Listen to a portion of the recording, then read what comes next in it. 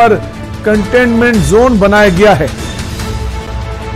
400 metre के दायरे में कंटेनमेंट जोन बनाकर वहाँ जाँच की जाएगी। बाकी लोग जो वहाँ पर हैं, उनकी मरीज़ के घर के बाहर भी बैरिकेडिंग होगी। तो पूरी तरह से राजधानी तैयार है कि जो वायरस है, ये अपने पाँव और ज़्यादा ना पसारे। स्क्रीनिंग के साथ ही लक्षण वाले जो लोग हैं, उनके सैंपल लिए जाएँगे। पहले स्क्रीनिंग की जाएगी, उसके बाद जिनमें ये सिम्टम्स नज़र आते हैं जो जीका वायरस के हैं। उसके बाद उनकी जाँच की जाएगी, उसके सैंपल लिए जाएँगे। ग्रामीण क्षेत्रों की सीएचसी में 25 से 26 लोगों की टीमें बनाई जाएँगी। जाँच के लिए 500 सुपर सर्विलांस टीमें बनी हैं।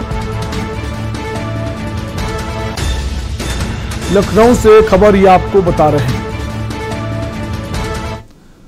अगली खबर जौनपुर से है। के न्यूज़ की खबर का